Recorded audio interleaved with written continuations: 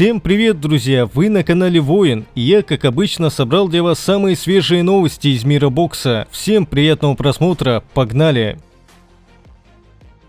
WBC отменила отборочный поединок в легком весе между Райаном Гарсией и Исаком Крузом после консультации с командами боксеров и подтверждения того, что у боксеров уже были ранее назначенные бои. WBO сохранила за Саулем Альваресом титул во втором среднем весе, удовлетворив запрос его представителей и отменив собственное решение 4 мая, согласно которому титул стал бы вакантным в случае поражения Канела в бою против Дмитрия Бивола.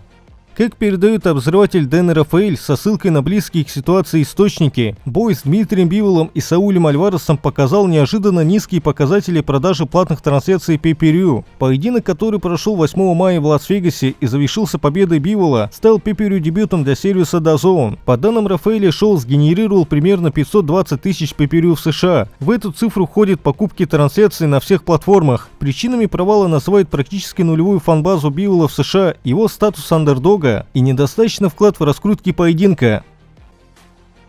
Рой Джонс не понимает, зачем Сауль Альварес поднялся в полу тяжелый вес ради боя с Дмитрием Биволом. В большинстве случаев, когда ты поднимаешься в весе, ты хочешь просто завоевать там титул. Либо ты остаешься там, либо возвращаешься туда, откуда пришел. Ты уже сделал это, когда побил Ковалева. Для чего возвращаться и опять это делать? Ты хочешь стать двукратным чемпионом в полу тяжелом весе? Что это доказывает? Так для чего надо было тратить время, нарываясь на Бивола, который и так был проблемой? Если ты это сделал, то думал, что с ним будет проще, чем с Давидом Беновидом Эдисом или Джермелом Чарла. Ты при деньгах, поэтому если хочешь что-то нам показать, поделись с Дмитрусом Андрейдом. Зачем бросать вызов еще одному получажу? Если однажды ты уже добился своего, ты выбрал правильного соперника и сделал это. Уходи и брось это. Не оставайся не ходи туда-сюда, ты запутаешь самого себя.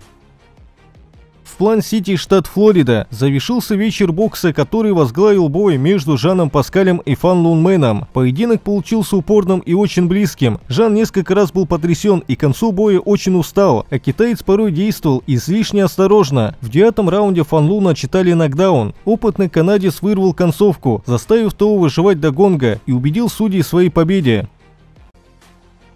Женебек Алимхануле и Дэнни Дигнум успешно прошли взвешивание перед поединком за временный титул WBO в среднем весе. Вес сделан, два кулака заряжены. Завтра будет шумно, написал Женебек. Прямая трансляция боя Алимхануле Дигнум начнется после 7.00 по времени Астаны и 4.00 по МСК и будет доступна для просмотра на телеканале Хабар.